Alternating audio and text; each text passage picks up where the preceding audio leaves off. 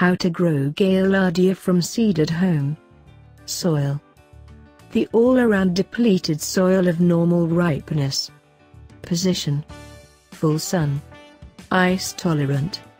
Once settled, numerous assortments will endure as brief perennials in atmospheres with direct winters.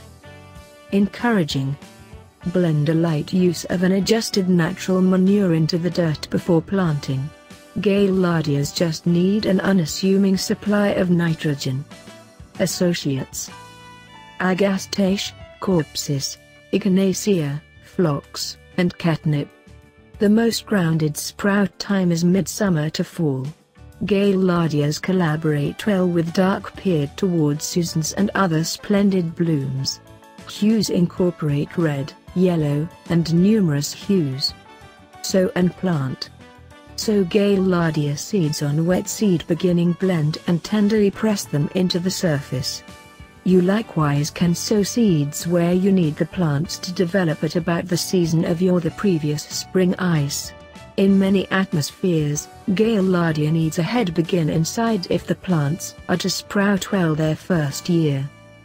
Our garden planner can deliver a customized timetable of when to sow, plant and reap for your territory. Reaping. Accumulate blooms to use as cut blossoms soon after they open. On the off chance that you like dried blooms, collect a portion of the more established blossoms and dry them after the petals have been expelled by hanging them up in a dry, very much ventilated place.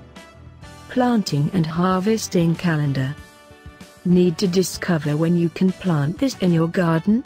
We utilize authentic information from your nearby climate station to ascertain the best scope of planting dates for your area.